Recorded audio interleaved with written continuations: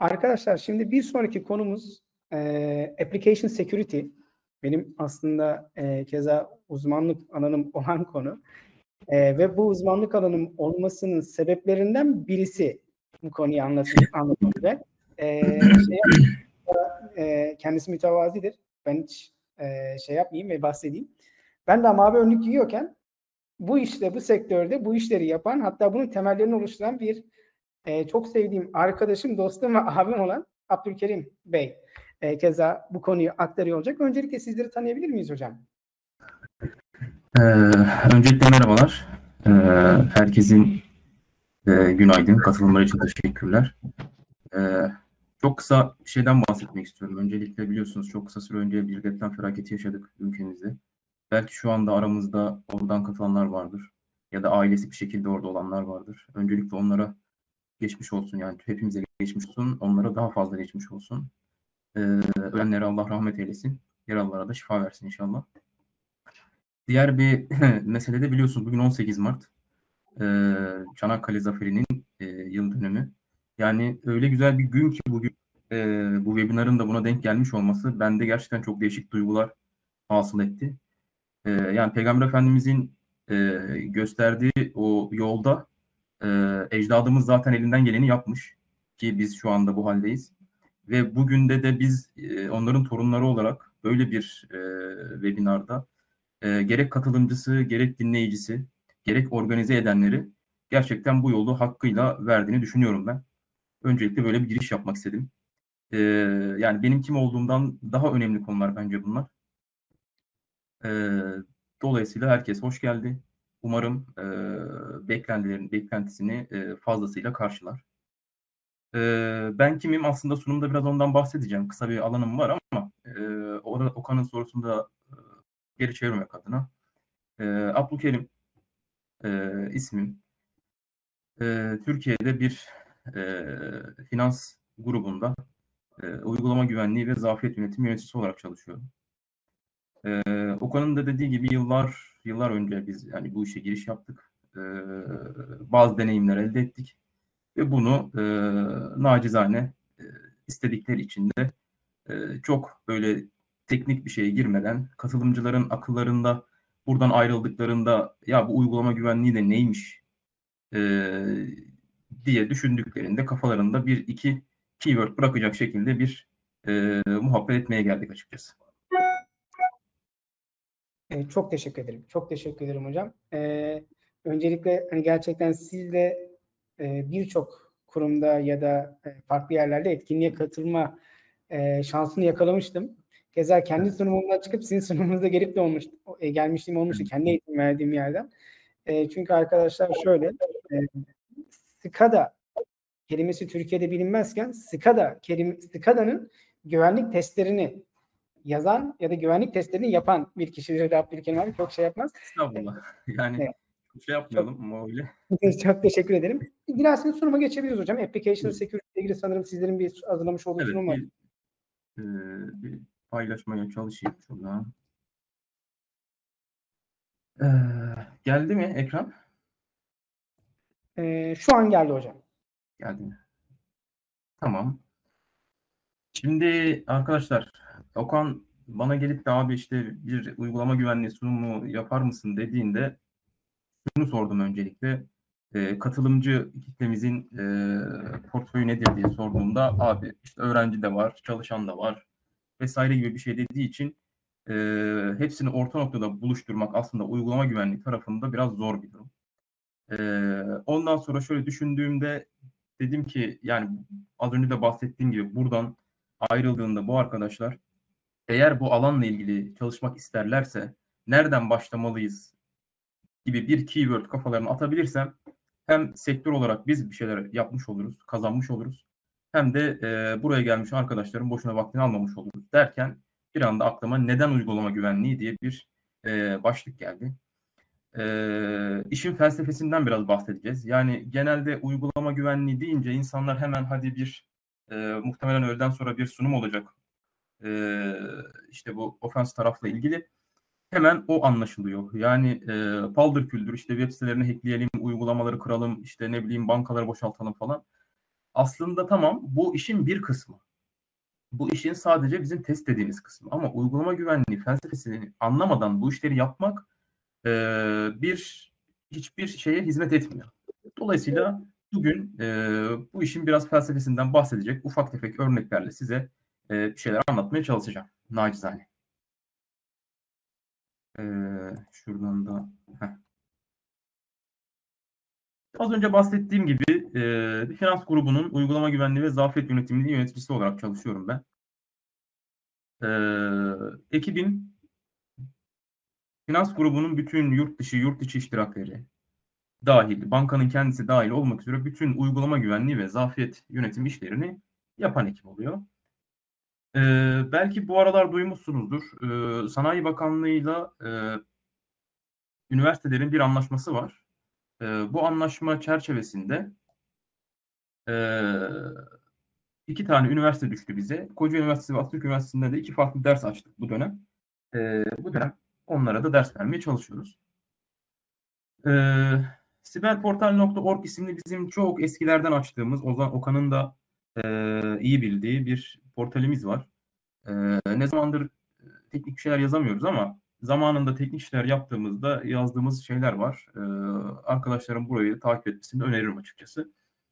E, bir de ben Abdülkerim yani işte LinkedIn'den e, bakarsanız daha detaylı bir şeyler görürsünüz belki. Şimdi gelelim konumuza. Şimdi bir sabah uyandığınızda karşınızda sosyal medyada ya da haberlerde böyle bir e, görüntüyle karşılaşsanız ne hissedersiniz diye sorsam. Sesim geliyor mu bu arada?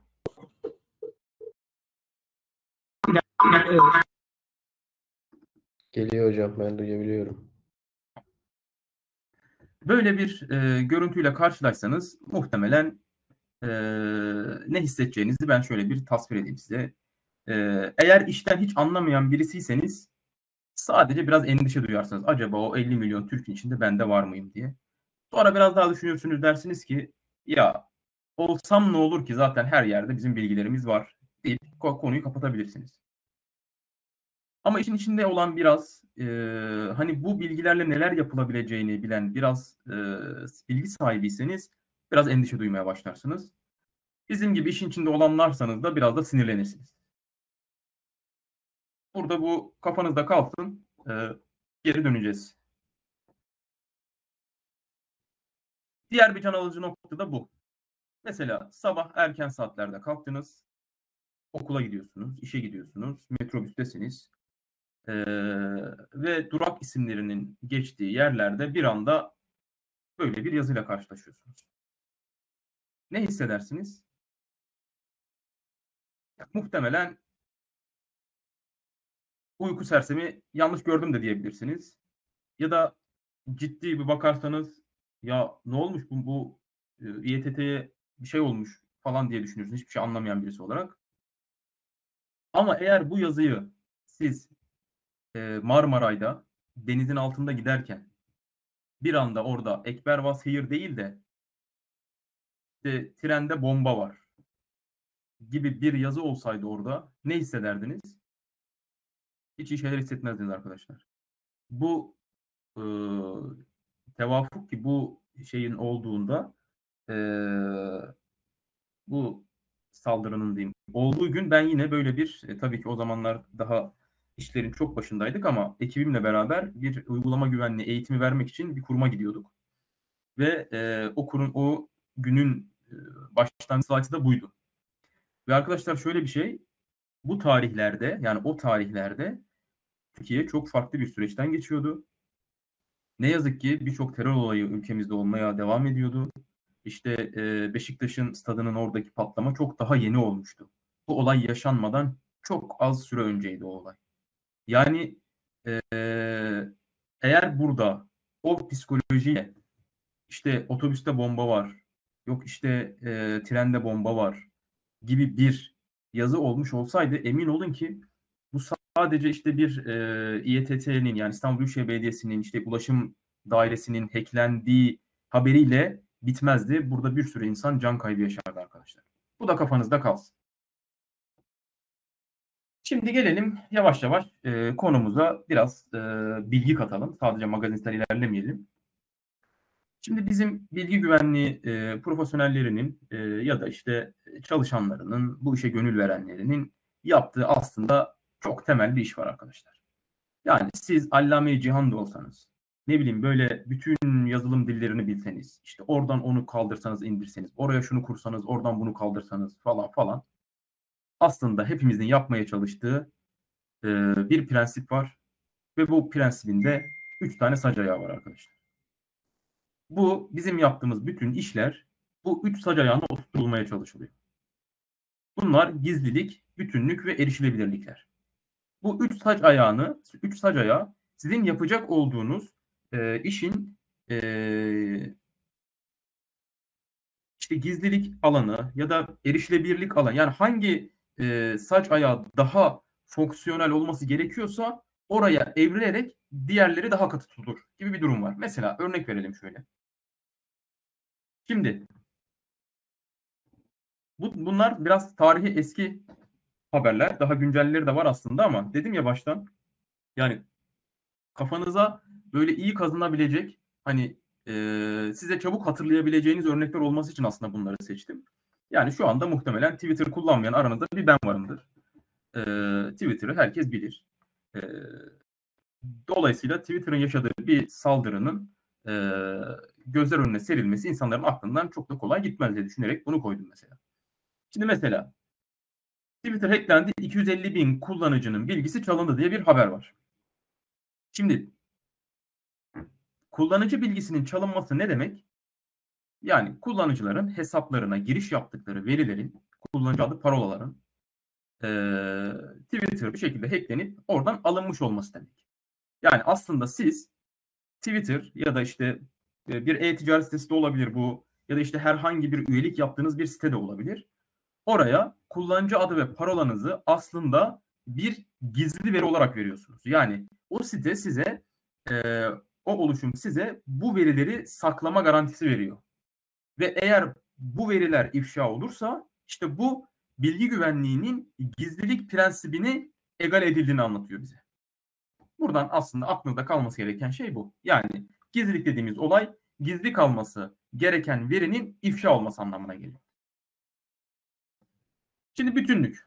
Bütünlük dediğimiz mesele de yine e, o zamanlar gerçekten ciddi bir e, sansasyon oluşturmuştu bu haber. Şimdi e, birileri işte e, Ajans Press'in e, haber sitesini hackliyor ve orada e, Beyaz Saray'a saldırı oldu, Obama yaralandı diye bir haber geçiyor.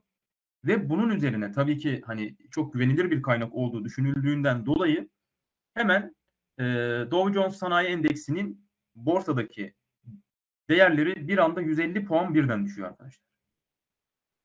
Yani bu neye sebep oldu? Aslında olmayan bir bilgi bir hack vakasından dolayı yanlış yönlendirildi. Yani doğru bilginin bütünlüğü bozuldu ve bu e, mali bir e, kayba sebep oldu. Şimdi burada mali evet hani sonuçta paradır yani hani bir şekilde elde edilir falan düşünenler olabilir. Ama bu sağlık da olabilirdi, hayat da olabilirdi. Yani e, burada da aslında aklında kal, aklınızda kalması gereken mesele e, olması gereken e, doğru olması gereken veriyi doğru olarak sağlayabilmek. Bütünlük dediğimiz şey de bu aslında. Bir diğer konumuz da erişilebilirlik. Erişilebilirlikle ilgili e, mesele de şu. E, sizin hizmet vermiş olduğunuz e, uygulama istenilden vakitte istenildiği anda ulaşılabilir şekilde olması lazım. Mesela şimdi burada e, Türk Hava Yolları'nın işte hacklendiğinin ve işte 6 saat boyunca e, bilet satamamasının e, üzerine durulan bir haber bu. Ama aslında şöyle e, daha can alıcı bir şey geldi aklıma dün düşünürken. Şimdi düşünsenize e, arkadaşlarınızla beraber yemeğe çıktınız e, ya da işte bir artistlik yaptınız dediniz ki bugün hesaplar benden dediniz. E, beraber yediniz içtiniz e, sonra post cihazı istediniz. E, post cihazı geldi kartınızı çıkarttınız ve okuttunuz ama çekmiyor. Yani bu durum e, ciddi manada müşteri kaybına sebep olur arkadaşlar bankacılık tarafında. Yani post cihazı gibi bir hizmet sunuyorsanız ya da bir ATM hizmetiniz varsa ya da ne bileyim internet bankacılığı hizmetiniz varsa ve bunu 7-24 sağlayacağınızın e, garantisini vererek siz müşteri kazanıyorsanız işte buna ulaşılamaması durumunda sizin erişilebilirliğiniz sekteye uğramış demek oluyor arkadaşlar. Böyle de aklınızda kalabilir. Yani bütün siber güvenlik, e, bilgi güvenliği camiası bu üç tane temel prensip etrafında döner arkadaşlar. Bence çok önemli bilgidir. O yüzden de size paylaşmak istedim. Şimdi geçelim diğer bir e, sunuma. Şimdi uygulama güvenliği diyoruz. E, uygulama güvenliği neden önemli? Aslında bakın bu Microsoft'un yayınlamış olduğu bir rapordan alınmış bir kesit. Şimdi e, burada e, bu e, diyagramda bize işte uygulama güvenliği zafiyetleri, uygulama zafiyetleri, browser temelli zafiyetler ve operating sistem yani işletim sistemi temelli zafiyetlerin e, ne derece sıkıntıya sebep olduğunu gösteriyor aslında bu grafik bize. E, tabii ki görüyorsunuz açık ara farkla uygulama seviyesi katmanında yani uygulama katmanındaki zafiyetler daha fazla sistemlerin ele geçirilmesini, hack vakalarının yaşanmasına sebep oluyor. Dolayısıyla neden uygulama güvenliği e, üzerindeki e, duruşumun sebebi yani felsefesinin sebebi işte bundan dolayı arkadaşlar. Yani siz e, işletim sistemi e, seviyesinde ya da işte network seviyesinde e, ne kadar çok kural koyarsanız koyun, ne kadar çok güvenlik cihazı e, konumlandırırsanız konumlandırın, eğer sizin uygulama katmanız sıkıntılıysa yani sizin developerlarınız, sizin yazılım geliştiricileriniz güvenli uygulama geliştirmiyorsa sizin bu yatırımlarınızın hepsi bir yerden sonra çöp oluyor arkadaşlar. Yine göstereceğim. Şimdi mesela bu da e, daha bir daha farklı bir e, rapordan örnek. Yıllar sonrasında alınmış bir rapordan bir kesit. E, bakın burada da yine işte uygulamalar, uygulamaların e, sebep olduğu zafiyetler tabii ki her zaman açık ara önde. Bakın yine işte mesela Core Operating System dediği yani e, işletim sistemlerinin çekirdeği kaynaklı e, oluşan e, zafiyetler hakeza daha az. İşte işletim sistemi zafiyetleri yeşil olanlar, işte browser kaynaklı olanlar vesaire. Yani yine bu çalışmada da yani bu analizde de bize gösteriyor ki uygulama katmanındaki e, zafiyetler, uygulama katmanı problemleri aslında asıl çözülmesi gereken, asıl üzerinde kafa yorulması gereken şeyler. Şimdi gelelim diğer bir e, sunuma. Şimdi NIST'i bilmeyeniniz yoktur herhalde. National Institute of Standards and Technology denilen dünyaca kabul görmüş ve herkesin e, buranın standartlarını kendini uydurmaya çalıştığı bir kuruluş. Bakın o kuruluş ne demiş? E, exploit edilebilir yani e, sömürülebilir zafiyetlerin %92'si yazılımlarda bulunuyor demiş. Yani bu aslında NIST'in ortaya koyduğu e, gerçekten hani dikkat edilmesi gereken ve üzerine düşülmesi gereken bir konu. Yani uygulama güvenliği çalışanların sadece hani bizim gibilerin demiyorum. Yani yazılımcı arkadaşların da güvenli yazılım geliştirme döngüsünde kendine bir şekilde e, yer bulmaya çalışan arkadaşların da dikkat etmesi ve e, bu işi sahiplenmesi gerektiği nokta.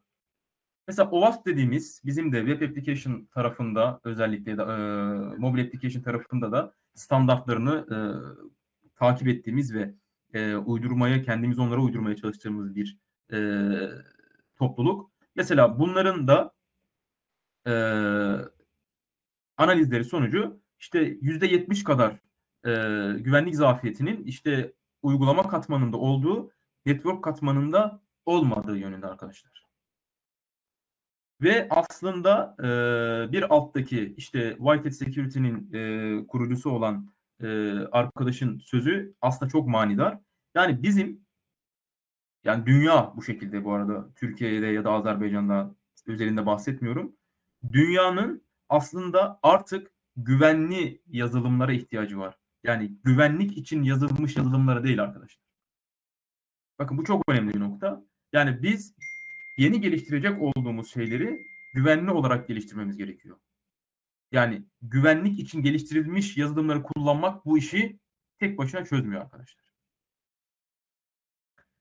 Şimdi biraz daha e, güncel saldırılara bir gelelim. E, bunlarda durum neymiş? Biraz onlara bakalım aslında. Şimdi e, aşağıda kaynağı belirttim. Hackmageddon diye bir site var arkadaşlar. Burası çok ciddi analizleri var bunların. E, her yıl e, ay ay e, işte olan dünyadaki saldırıları derliyorlar. E, muhtemelen de bir e, zannedersem Kaspersky olabilir tam bilmiyorum. E, bir e, antivirüs ya da işte böyle anti malware e, ürünüyle ortaklaşa çalışıyorlar ki bu kadar veriyi elde ediyorlar. E, tam bilemiyorum şu anda hangisiyle çalıştıklarını. Ama bakın şöyle güzel e, bir grafik var orada da. Şimdi mesela şu gördüğünüz e, 2019, 2020, 2021 ve 2022'de olan siber saldırıların grafiğini çıkartmışlar ay ay. Şimdi burada size sadece şunu anlatmak istiyorum. Bakın her her yılın her ayında mutlaka bir siber olay yaşanmış arkadaşlar. Yani biz güvenlik tarafında çalışan insanlar olarak şunu deme gibi bir lüksümüz yok. Ya arkadaş bugün de bayram. İşte bugün de ne bileyim işte yılbaşı tatili ya da işte ne bileyim bugün hafta sonu biz bugün şu işe bakmayalım deme lüksümüz yok arkadaşlar. Niye yok?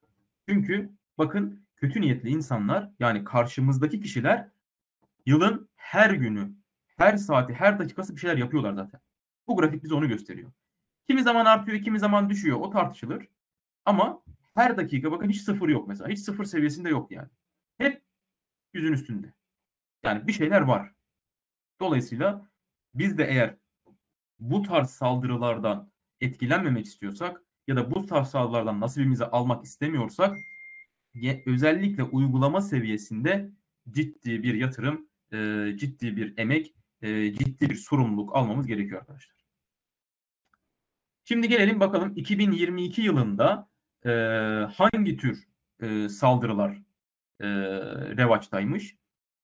Bakın arkadaşlar nasıl bir yıl oldu? E, yani nasıl bir yıl olmuş? E, kırmızı olanlar bakın siber suçlar. Yani e, geçmiş yıllarda bu e, grafikleri incelediğimizde aslında e, siber suçlar çok fazla değil. E, hacktivizm dediğimiz yani bilgisayar korsancılığı biraz daha böyle e, bu işleri e, hobi haline getirmiş insanların yaptığı saldırılar genelde üst seviyelerde olurdu. Ama bakın e, yıllar geçtikçe artık ülkeler bunu e, bir e, savaş sebebi olarak bile görüyorlar ve gördüğünüz gibi siber suç e, yani bu işten gelir para elde etmeye yönelik yapılan e, saldırıların daha fazla arttığı yani dünyanın daha kötü bir yere doğru gittiği ortaya çıkıyor arkadaşlar. İşte diğer bir alan e, siber espiyonaj denilen e, işte o biraz daha e, fazla. İşte bilgisayar e, korsanlığı dediğimiz aktivizm ve e, siber e, savaş adında e, geçen yani şöyle aslında bakarsanız e, bu şeyleri incelediğimizde şu siber suçun içinde çok fazla siber savaşla ilgili bir şey var ama tabii ki ülkeler bunu kabullenmediği ya da açıklamadığı sürece siber savaş olarak kayıtlara geçmiyor. Dolayısıyla da işte şu mavi e, kısım siber savaş olarak geçiyor gibi gibi aktiviteler yapılmış. Peki ilk 10 teknik yani atak e, tekniği ne diye baktığımızda 2022'de işte e, kırmızıyla malware en önde. E, şurası mesela çok ilginç arkadaşlar. Yani şu 22.2'lik alan ne olduğu bile tanımlanamamış. Yani e, nasıl bir atak yapıldığı ile ilgili bir bilgi yok yani. Dolayısıyla burası da bize şunu gösteriyor. Ee, gerçekten çok ileriye dönük gittiğimizde sofistike yani karmaşık olarak yapılan e, atak türleriyle karşı karşıyayız arkadaşlar. Peki hangi sektörler en fazla etkilenmiş? Mesela bakın bu grafik de çok ilginç.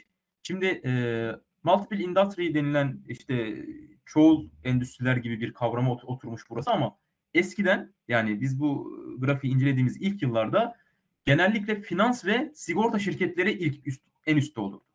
Bunu da şuna bağlarlardı bu işin e, uzmanları. İşte e, paraya dayalı yani ucunda işte gelir elde etme, e, para yani ekonomik olarak zarar verecek verilecek sektörler e, elde e, ön plana gelirdi. Ama e, yıllar geçtikçe bakın değişmiş. Hatta bakın şu çok ilginç. İşte insan sağlığı ve işte sosyal işler. Yani e, ileriki slaytlarımda bir tane örnek var buna. E, gerçekten iş artık o kadar sıkıntılı bir hale geliyor ki e, geçtiğimiz yıllarda belki hani çok çok örnek var da popüler olduğu için belki duymuşsunuzdur. Almanya'da bir hastane hacklendi ve o gün hiçbir ameliyat yapılamadı arkadaşlar. Yani bu şu demek oluyor. E, düşünün işte sizin yakınınız, yakınlarınızdan biri bir kötü hastalığa, işte kanser dediğimiz hastalığa e, hastalığı var ve o gün için ameliyat için bir sürü hazırlıklar yapıldı vesaire vesaire. Hastane sistemi hacklendiği için o gün ameliyat yapılamıyor ve belki de hayatını kaybediyor.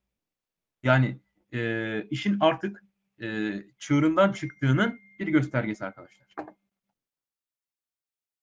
Şimdi bakalım 2023 yılında bu durum nasıl gidiyor? Mesela şu anda tabii ki e, Mart ayındayız. E, dolayısıyla e, e, Şubat ayı daha yayınlanmamıştı ben baktığımda ama Ocak ayının verileri vardı.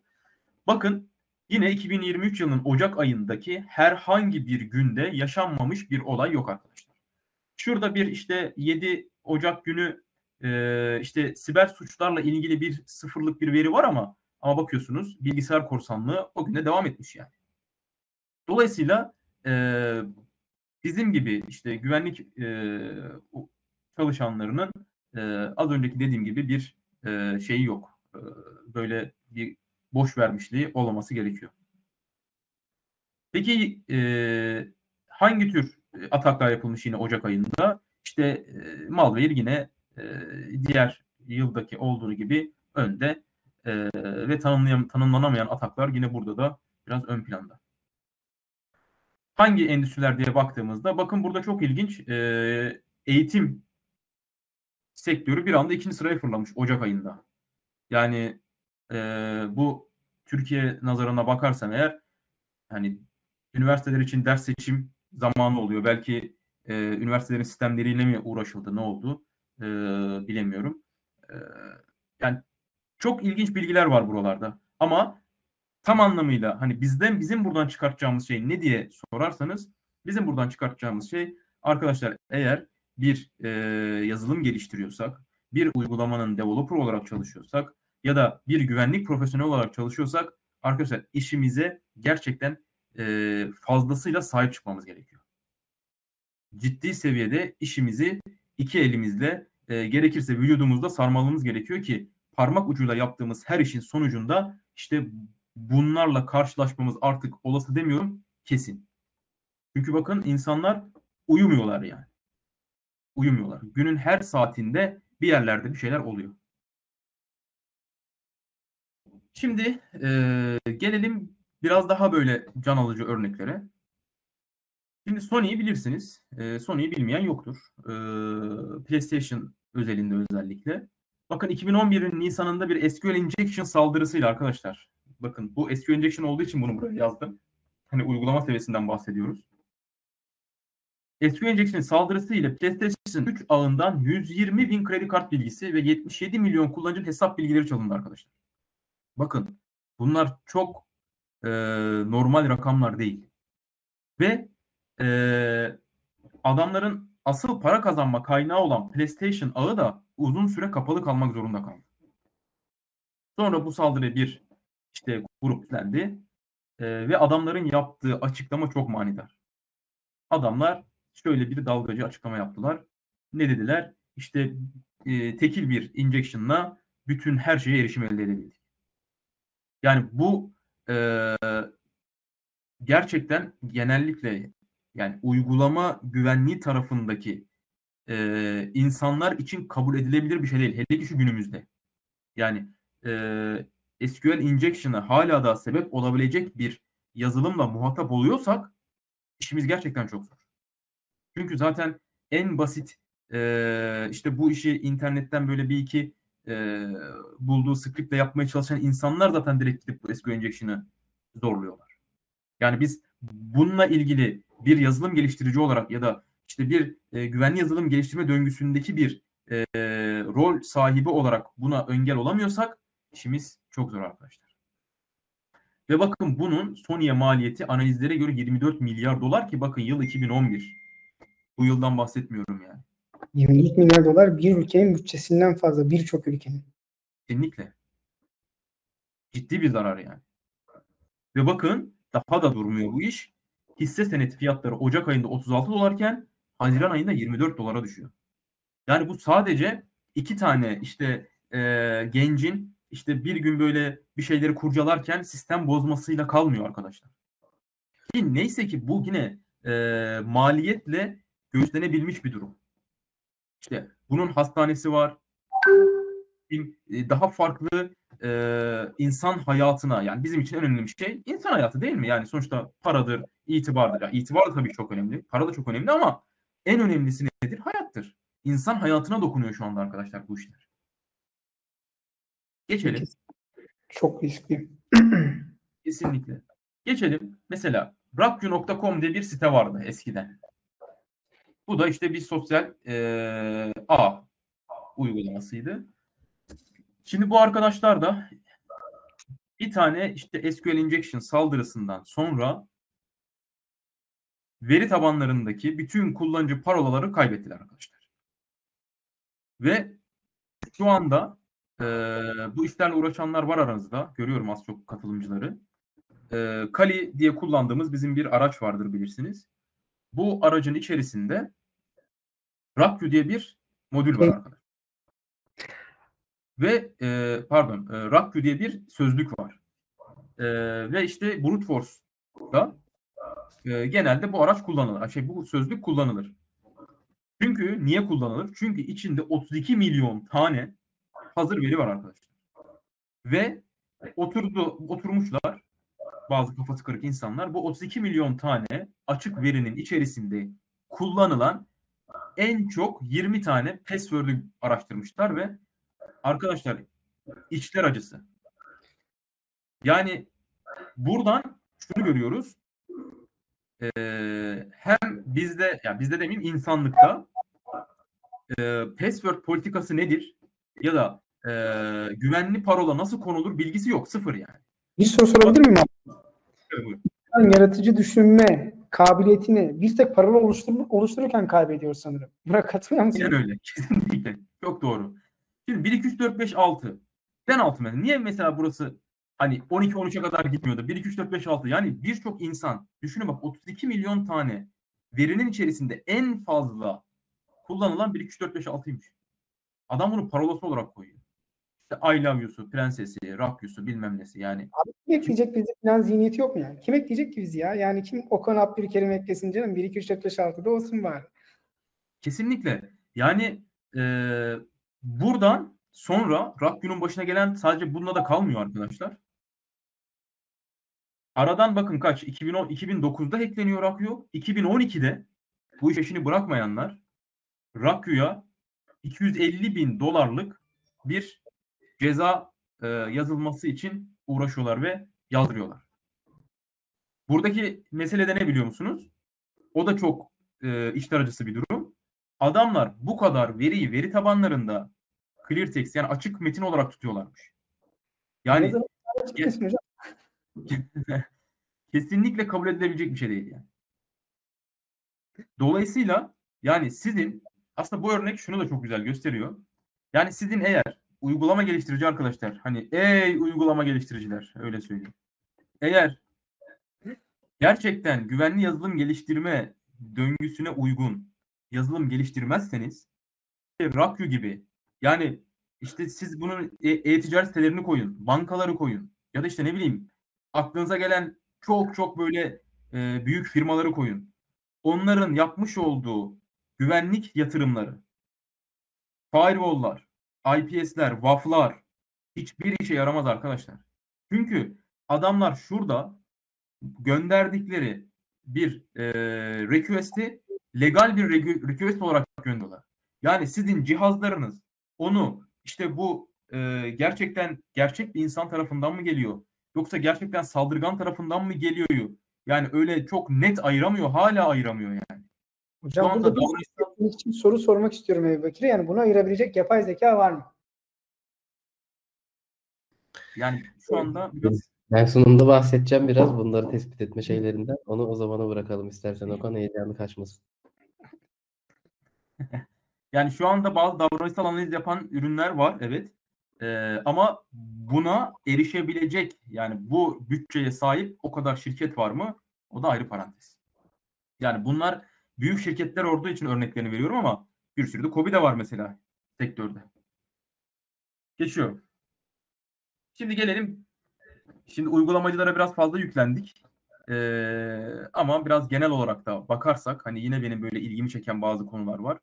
Hani burada e, güvenliğin biraz e, şeyinden bahsediyoruz ya e, felsefesinden. Mesela bizim gibi insanların işte kendi aralarında bilgi paylaşımı olsun diye e, kayıt oldukları bazı işte forumlar oluyor, işte mail gruplar oluyor vesaire. Mesela oraya gelen bir maildi bu. Çok ilginç.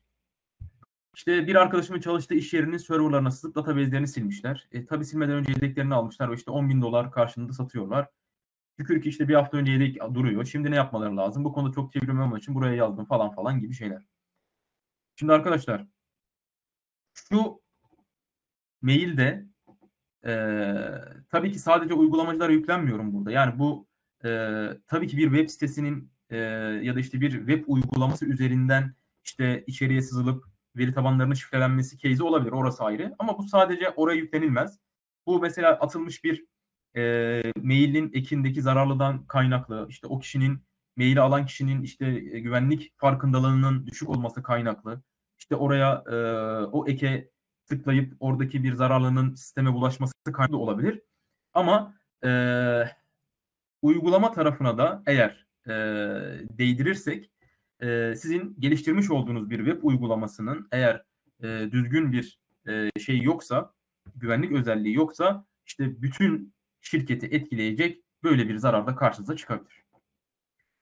Şimdi mailden bahsetmişken aslında hani farkındalık adına bunu da koymak istedim. Ee, yine Türksel'i bilmeyeniniz yoktur. Azerbaycan'da da e, Azersel diye bildiğim kadarıyla Türksel var. E, bizim de e, ülkemizin biliyorsunuz e, GSM operatörü. E, ve bir zamanlar e, yaşı büyük olanlar bunu çok iyi hatırlar. Herkesin e, mail kutusuna mutlaka bu mail gelmiştir. Yani bütün Türkiye'deki herkesin ama gelmiştir. Ve bu e, şunu e, gösteriyordu arkadaşlar. Bu mailin ve bu mailden dolayı da birçok kişi etkilenmiştir arkadaşlar bundan. Bu durum şunu gösteriyor. Burada uygulamacılara çok yüklenmeyeceğiz. E, kişinin güvenlik farkındalığının düşük olduğunu gösteriyor. Aslında e, burada Okan'a biraz e, top atıyoruz. Yani Okan'ın bu konularla ilgili çalışmaları çok fazla. E, demek ki Türkiye'yi ya da herkesi kapsamamış bu çalışmalar. E, ki insanların güvenlik farkındalığı çok artmamış.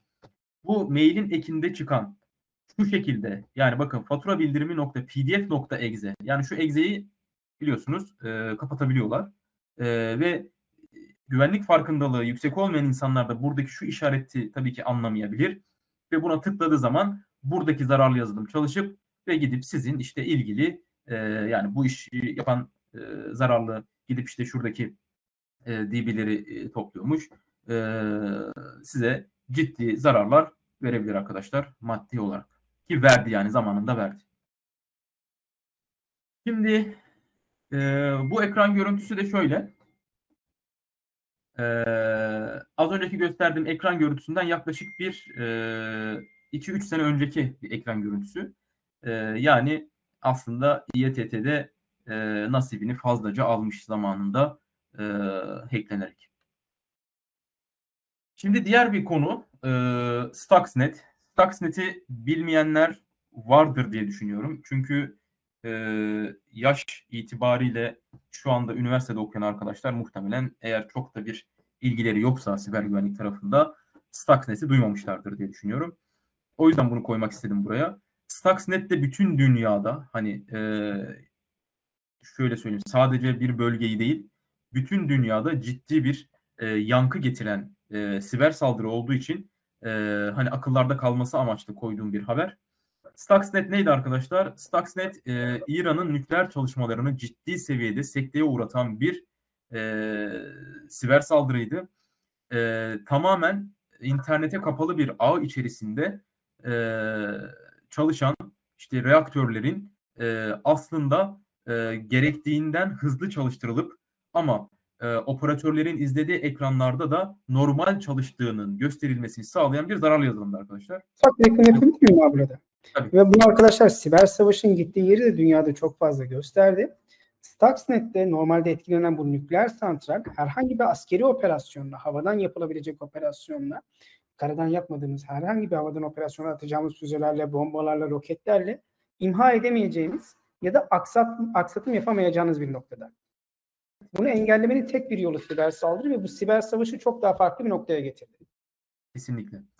Hatta şöyle e, nasıl oldu? Şimdi arkadaşların kafada soru işareti oldu tabii ki.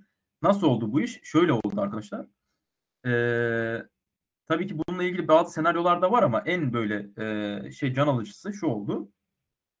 E,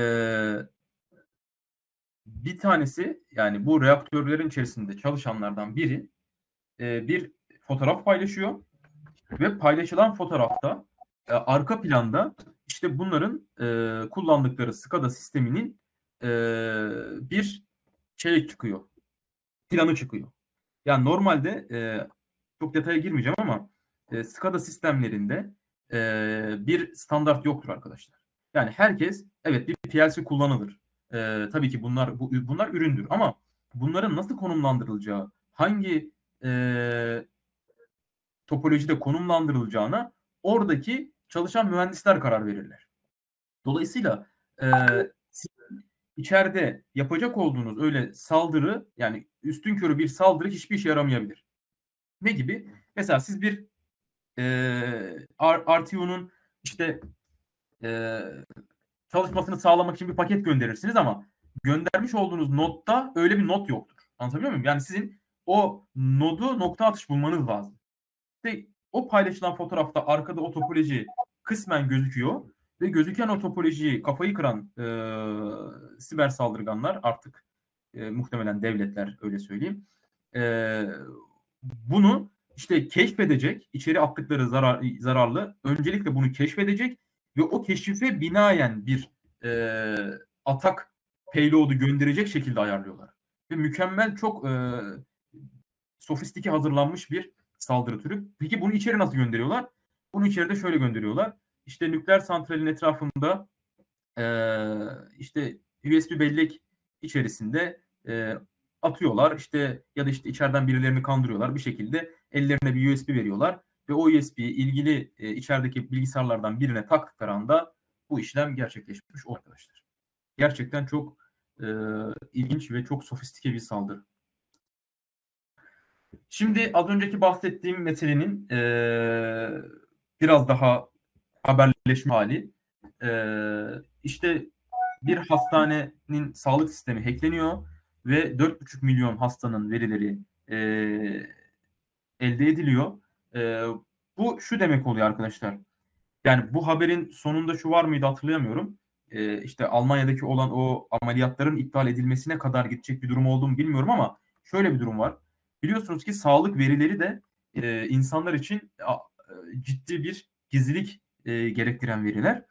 E, şimdi kimi insanlar işte e, psikolojik sorunları olmasının bilinmesini istemeyebilir. Kimi insanlar işte e, Allah muhafaza işte AIDS'tir. İşte bunun bilinmesini istemeyebilir vesaire vesaire. Yani sağlık verileri de aslında insanların en ehemmiyet verdiği, en kıymet verdiği verilerdir.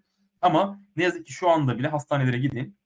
Bakın e, hiç başında kimse olmadan açık tutulan bir sürü PC görebilirsiniz mesela. Bu işin bir meraklısı gidip orada iki saat otursa muhtemelen oradan bütün veriyi de çeker. E, ne yazık ki çok da akıllanmıyoruz bu hastaneler konusunda. Şimdi diğer bir konu arkadaşlar gerçekten ama gerçekten eğer biraz ilginiz varsa mutlaka bu makaleyi okuyun derim. Ee, benim de yüksek lisans tezimde çalıştığım konudur bu. Ee, ben de tamamen bu makaleden esinlenip bu konuya eğilmiştim. Ee, insülin pompalarını bilirsiniz belki.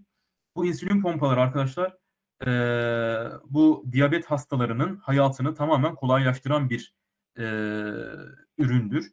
Ama tabii ki kötü niyetli insanlar bunların da e, hakkından geldiler. Şöyle geldiler. Şimdi bu insülin pompaları insanlar işte şeker hastaları vücutlarına takıyorlar ve e, vücudun o anki şeker ihtiyacına göre kendisi analizlerini yapıyor ve insanın vücudunun ihtiyacı olduğu kadar insülini vücuduna pompalıyor. Dolayısıyla insanlar sürekli sürekli kendilerine iğne vurmak zorunda kalmıyor arkadaşlar. Ama ne yaptılar bunu?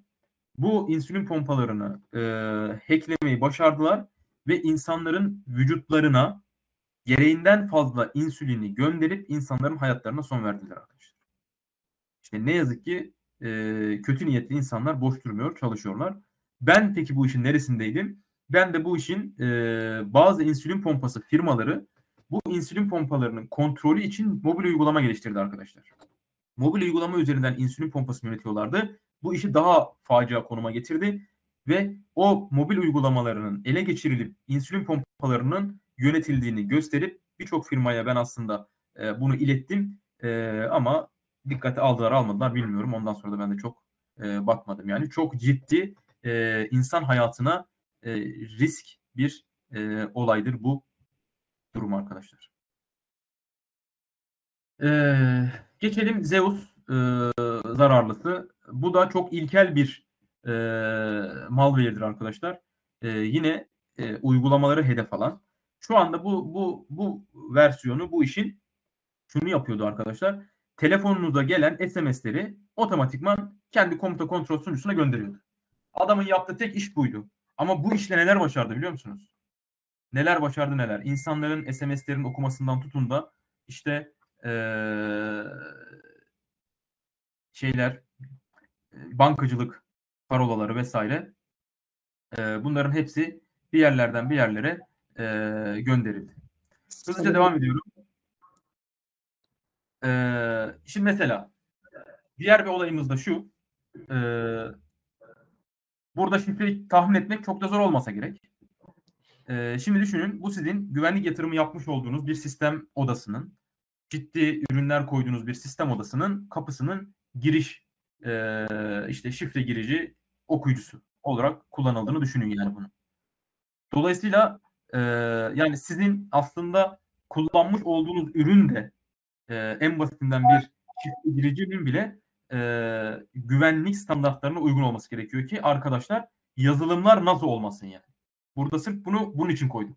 Yani bu bile ne kadar önemli olduğunu görün diye buna binaen yazılımların ne kadar daha güvenli olması gerektiğini varın siz düşünün. Keza arkadaşlar ekran görüntüsüne dikkat etmeniz gereken nokta o şifrelerin basıldığı yer 3 tane farklı yerde silik olması. Yani 3 faktöriyel kadar aslında şifreyi kırma denemesi. Aynen. Diğer bir görüntümüzde şu e, görüyorsunuz kocaman bir kilit asmışlar.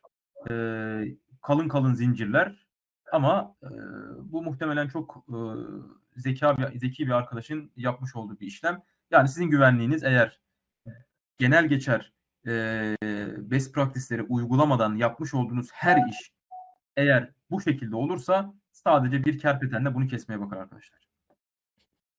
Hemen hızlıca geçiyorum. Ee, çok az vaktim kaldı. Şimdi peki uygulama güvenliğine girecek olan arkadaşlar kafalarında bir şeyler oluştuğunu düşünüyorum. Kafadaki keywordlerde şunlar olmalı e, güvenli yazılım geliştirme yaşam döngüsü yani SSTLT dediğimiz konu. Bu konuyu e, mutlaka ve mutlaka bilmeniz lazım ve uygulamanız lazım. Bilmek yeterli değil, uygulamak da ayrı bir e, özellik. Bunu en iyi Okan bilir zaten. Geçiyorum. Günümüzün en önemli konularından biri Development Security Operations dediğimiz yani DevSecOps. Yani bu konteyner mimarisinin e, gelmesiyle yazılım dünyası da ayrı bir e, evrilmeye başladı. Bunun ismi de güvenlik tarafında DevSecOps oldu ve bu DevSecOps'u da mutlaka ve mutlaka vakit ayırmanız gerekiyor arkadaşlar. E, kaynak kod analizi dediğimiz bir yapı var. Biz e, kurumsal şirketlerde uygulama güvenliği iki ayaktan yürür. Bunların ilki kaynak kod analizidir. Yani SAS dediğimiz yapıdır. Kaynak kod analizini başarıyla geçen e, uygulamalar dinamik test alınır. Dinamik test dediğimiz adımda e, manuel ve otomatize olarak ikiye ayrılır. Otomatize araçlar vardır bu e, dinamik teste sokulacak uygulamaların tarandığı, e, zafiyet analizlerinin yapıldığı. E, ama e, oradan çıkan bulguların ya da e, testi yapacak olan arkadaşın kendi deneyimlerine göre de manuel olarak hem o bulguları doğrulamak hem de kendi tecrübelerini e, test etmek amaçlı bir Whitehead hacker gözüyle e, yapmış olduğu testtir manuel analiz arkadaşlar. E, ve aslında sözümü şöyle bitiriyorum. Bruce Schneider'in bir sözü. E, güvenlik aslında bir prosestir. kesinlikle ve kesinlikle bir ürün değildir arkadaşlar. Bu da e, motto olarak size benden bir e, söz olmuş olsun. Abi çok teşekkür ederim. Oldukça e, meza e, benim için. E, katılımcı arkadaşlardan sorusu olan var mıdır arkadaşlar? E, sorusu olan varsa alabiliriz. Eğer yoksa Abdülkerim abiye çok teşekkür edip bir sonraki konumuza yavaşça geçebiliriz. E, sanırım yok. Ben sadece tek bir soru sormak istiyorum abi. E, bunu arkadaşlar netleştirebilsin diye tek bir soru. SSDLC bunu e, şey yaparken sormak Kusura bakmayın. Bankada tecrübe ettiğinizde SSDLC ve SSDLC yaşam döngüsünde bir zafiyeti tespit etmenizin maliyetteki yararı nedir? Yani şöyle e, SSDLC sürecine sokabildiğimiz ürünler özellikle hani burada e, şöyle ayırayım. SSDLC sürecine sokabildiklerimiz var bizim sokamadıklarımız var. Sokamadıklarımızı niye sokamıyoruz? E, çok eskiden e, başlanmış işte şu anda belli bir e, kısmı e, canlıda olan işte projelerin e, belki ilk kodunu yazan insanlar bile şu anda e, burada değiller. Yani hayatta bile olmayabilirler açıkçası öyle söyleyeyim. E, 50 yıllık bir geçmişten bahsediyoruz yani. E, dolayısıyla bu tarz şeyleri sokamıyoruz. Sokamadığımız için bunları e, güvenlikle ilgili bir sıkıntısı çıktığında bunu gidermesi gerçekten çok zor. Yani sana şöyle söyleyeyim. Sadece SSD'si diye ayırmaya hani ayırmaya kalmadan e, ciddi manada e, dokunamadığımız yerler bile oluyor. Yani ba- başka ürünleri konumlandırmak gerekebiliyor hele ki bazı noktalarda. Ama SSDLC sürecinde ilerleyen ürünlerde e, böyle bir sorunumuz yok. E, niye yok? Zaten e, daha ürün tamamlanmadan e, ya da işte belli bir modül, bir kısım modül ortaya çıktığı anda olaya müdahale ettiğimiz için ya da edildiği için e, belki çok ufak bir e, yazılımcının dikkatsizliği kaynaklı olabilir bu. Ya da işte bir e, parametrenin güvenli tanımlanmamasından ötürü olabilir. O parametre daha farklı yerlerde kullanılmadan onun önünü almış oluyoruz. Dolayısıyla bize buyur. Hocam kusura bakmayın şey oldu. Ee, hocam normal şartlar işin kitabında şu vardır. Threat modeling vardır. Tehdit modellemeyi yaparız. Ve işin kitabını açıp baktığımızda gün sonunda gereksinimler toplanınca use case'ler oluşturucu yazılımcılar, security'ler de abuse case senaryolar oluşturuyor. İşin kitabı uygulayışta da böyle midir? Yok abi böyle olmaz. Yani uygula, bunu uygulaya, uygulayabiliyorum diyen yer helal olsun derim. Başka bir şey demem. Yani e, şu olabilir belki. Yani sizin kullanmış olduğunuz yazılım dili de burada çok önemli. Yani siz eğer bir e, derleme tabanlı bir yazılım dili kullanıyorsanız bu bahsetmiş olduğunuz süreci işletmek çok zor. Çünkü e, developer kolayına geliyor, kendi makinesinde kod geliştiriyor.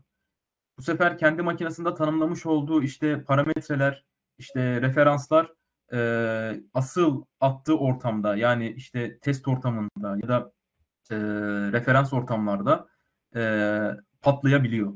Şimdi bizim normalde güvenlikçiler olarak development'dan teste geçerken bir şey yapmamız lazım ya yani noktayı koymamız lazım ki kod teste doğru gitsin. Şimdi öyle debeleniyoruz ki bazen şimdi adam unutmuş yani kendi e, lokal diskinden vermiş olduğu referansın e, oradan verdiğini unutmuş teste atıyor kodu. E tabii ki biz de teste ilk yani development'tan kod ayrılırken kapıyoruz. İşte orada kodu derlemeye çalıştığımızda hata alıyoruz. Nasıl bu niye hata aldı? Şöyle gitti, böyle gitti derken orada zaten cycle bir şekilde kopmuş oluyor. Ha, ama sen dersen ki işte ben Java türü işte e, derlenmeyen yani hani çalıştığı anda kod derlenen bir dil kullanıyorum diyorsan o tabii ki biraz daha kolay. Yani orada o iş işletilebiliyor. Ama referans bağımlı dillerde o biraz zor. Anladım. Çok çok çok teşekkür ederim abi. Sanırım ekstradan bir soru yoktu. Ee, Ee, gerçekten- Benim bir sorum var. Araya edeyim. Ee, sıkça karşılaşıyoruz. Geçmişten de örneklerini gördük. SQL injection e, olmaya da devam ediyor. E, bir sürü kaynak kod analizinden geçiyor uygulamalar. E, fakat gün sonunda e, testlerde veya e, production ortamında da SQL injection'la karşılaşılıyor. SQL injection önlenmesi bu kadar zor bir zafiyet midir? E, yani tam olarak nedir? Şimdi hocam şöyle. Şimdi SQL injection'ın e, tek ve geçer çözümü işte bildiğiniz gibi prepare statement dediğimiz yapının kullanılması. Şimdi e, yeni oluşturulan bir projede prepare statement yapısını kurmak kolay. Ama geçmişten gelen bir projenin yani e, daha analiz dokümanları bile çok doğru olmayan yapılarda bunu prepare statement'a evirmek çok zor. Ee, yani bu riski almıyorlar açıkçası. Bu risk alınmadığı için de e, hep yama yöntemiyle gidiyor. O da ne oluyor? Mesela biz kendimiz, kendi şirketimizde şöyle bir şey yaptık. Ciddi büyük bir maliyettir ama ciddi büyük bir yapıdır ama biz bunu üst yönetime kabul ettirdik ve bir şekilde oldu. Şimdi o yüzden biraz rahatız. Ee, SP katmanı kurduk. Yani e, açılımı neydi ya unuttum şu anda. Ee, yani bir katman var. Ee, sorgu database'e direkt gitmiyor. O katmana gidiyor. O katmandan ilgili prosedürlerle database'e sorgu gidiyor. Sanırım abi. Data layer. Data layer katman abi. Heh, aynen. Ee, SP'ler üzerinden gidiyor. E, dolayısıyla bu durumu biraz çözebilmiş olduk. Ama dediğim gibi bu çok maliyetli bir şey. Yani öyle e, ha deyince yapılabilecek bir durum değil. E, dolayısıyla bundan da kaçıyorsa eğer o uygulamalar ya da o yapılar dolayısıyla SQL Injection'da çok, çok da şey elde edemezler. Çünkü birçok payload var. Yani bu işi e, hani whitelistle çözebilir mi? Kısmen çözer ama blackliste kesinlikle çözemez. Abi son son diyorum bu sefer gerçekten sor. Bulgar hocamın sorusunu katılmışım. Aslında hocam değil biz kendi aramızda komutanım diyoruz. Çünkü Azerbaycan'da üniversitelerde komutanlık varmış. Şimdi Bulgar komutan, Bulgar komutanımız bir şey soracak. Hocamız üniversitede akademisyen. Sadece bizdeki akademisyen oradaki komutan değil. Teşekkürler Okan Bey. Abdülkerim Bey'e de teşekkür ediyoruz sunum için. Abdülkerim Bey bir sorun var. Ee, Tabii, buyurun. Biz, database'i pentest etmişiz. Hiçbir sorun yok. Ee, Bu e, SQL injection'ın karşısını başka necə ala bilərik? Daşı pentest vaxtı heç bir problem aşkarlanmıyor. E, aslında soru şöyle özetle yanlış anlamadıysam. SQL injection zafiyetini tespit edebilmemizde tek e, önlem penetration testi, sızma testi. Doğru mudur Bulgar hocam? Yəni pentest elədik, indi biz production'ı buraxmış o işləyə vəziyyətdədir. Hı. Yəni Aslında indi indiki vaxtda də tercüme edebilirim. Şöyle tercüme edebilirim. Türk, Türkçe'ye şöyle tercüme edebilirim. Ee, Vügar hocamızın sorduğu soru şu.